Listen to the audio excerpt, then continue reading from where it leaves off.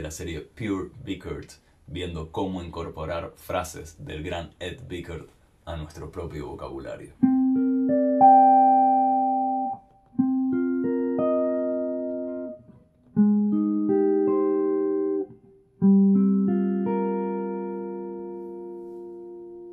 Esta es una preciosidad que toca Ed Bickert en el solo de Just Squeeze Me, jugando mucho con el registro agudo de la guitarra, que es una de las grandes ventajas de tocar jazz en una Telecaster. Tienes toda una zona para divertirte, que en una guitarra de caja no es tan amistosa. Y lo que hace es, sobre un Mi bemol más 7, todas las frases en Mi bemol más 7, él hace... La raíz del Mi bemol estaría ahí, y después mantiene la nota que en este caso está en cuarta cuerda y hace súper interesante entonces lo que está haciendo acá es la trecena del mi bemol la quinta me refiero en tercera cuerda la séptima mayor en segunda cuerda y la tercera mayor en primera. Es tremendo ese sonido sobre todo en un registro agudo.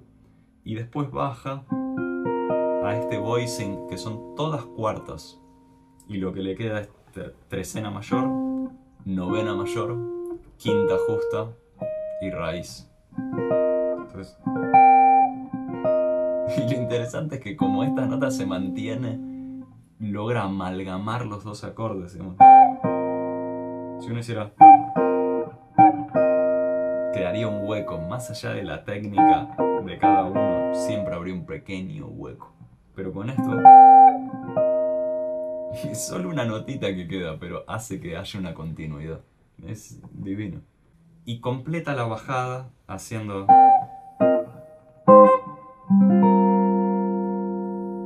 Entonces estos dos ya los vimos, vamos a estos dos últimos.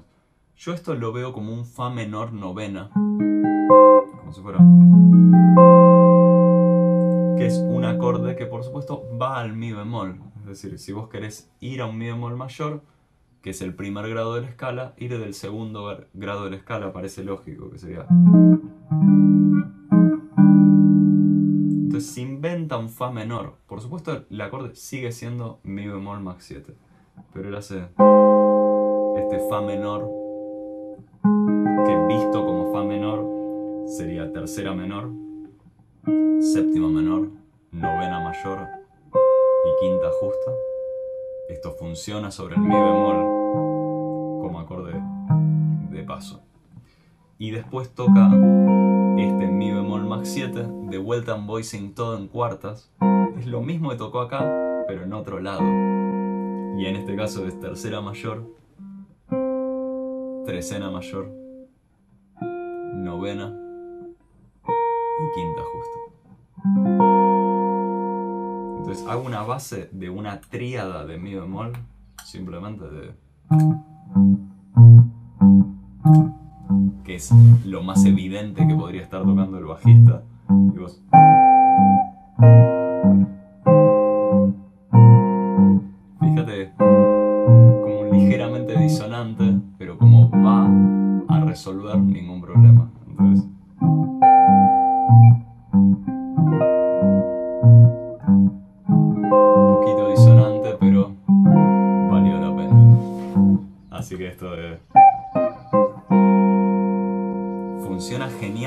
tiene que ser un poquito agudo. Digamos, si, si esto te queda grave, es como medio raro. A mí me encanta usarlo, por ejemplo, en sol. Recién en Just Friends lo usaba en sol. Y acá te queda súper agudo y es divino.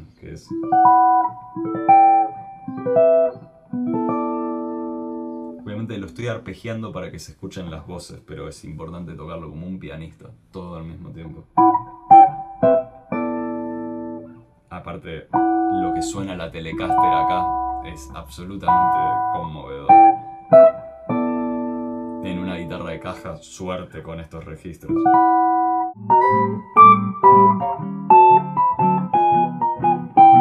Aparte, tiene una pureza. Se nota que soy un hombre enamorado.